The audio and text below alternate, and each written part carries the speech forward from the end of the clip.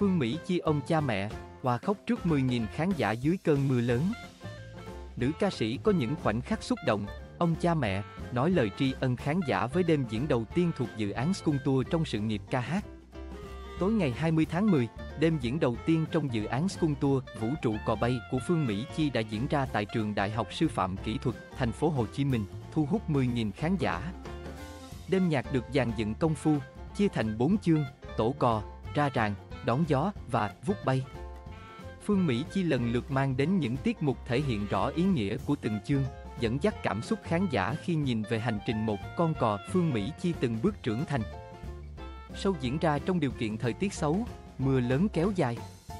Dù vậy, các khán giả, bạn bè và đồng nghiệp vẫn ở lại cổ vũ nhiệt tình.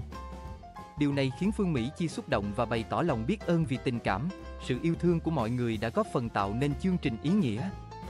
Chứng kiến hơn 10.000 khán giả và khách mời tham dự chương trình, Phương Mỹ Chi xúc động gửi lời cảm ơn. Điều trước đây, khi đối diện tình huống xấu, tôi khóc vì lo lắng. Còn hôm nay, đứng đây, tôi có quá nhiều cảm xúc, mạnh mẽ hơn rất nhiều. Tôi hy vọng sẽ cùng mọi người tạo nên một đêm nhạc khó quên. Mưa nặng hạt ảnh hưởng phần nào đến các phần trình diễn trong chương trình. Ở vài tiết mục dàn dựng cô vừa hát vừa nhảy cùng vũ đoàn nên gặp không ít trở ngại. Từ nửa sau chương trình đến khi kết thúc, ca sĩ ướt sũng người. Dù gặp trở ngại, Phương Mỹ Chi nỗ lực hoàn thành các tiết mục. Cô trình bày các ca khúc trong album Vũ trụ cò bay và bốn bài mới sáng tác gần đây, Lượng, Buông trăng, Con cò và Mặt trời, Tróc hạt gạo. Các tác phẩm do nữ ca sĩ cùng nhà sản xuất âm nhạc GTAP sáng tác, lấy cảm hứng từ văn học. Phương Mỹ Chi hát live, trình diễn trọn vẹn dù hệ thống âm thanh đôi lúc trục trặc. Ca sĩ y thổi hồn y cho nhiều ca khúc dân ca, điệu lý, hò, chầu văn các vùng miền theo phong cách mới. Cô còn lần đầu thể hiện các kỹ năng như nhảy hip hop, múa võ, thổi sáo, đánh trống, chơi guitar điện. Dưới khán đài, có hai khán giả đặc biệt là cha mẹ Phương Mỹ Chi. Cả hai có mặt từ sớm, hòa vào dòng người cổ vũ con gái.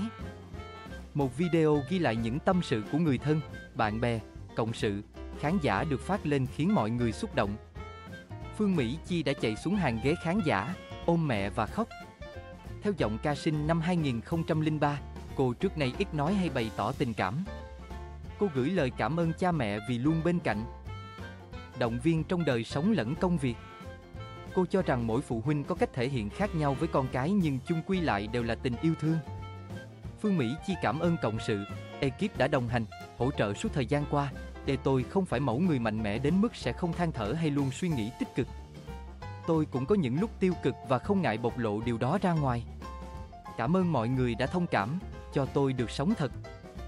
Trong đêm nhạc, Phương Mỹ chi kết hợp cùng nhiều khách mời, nghệ sĩ ưu tú Kim Tử Long, ca khúc A Chiếc Lượt Ngà, rapper Suboy, ca khúc Y Hai Đứa Trẻ.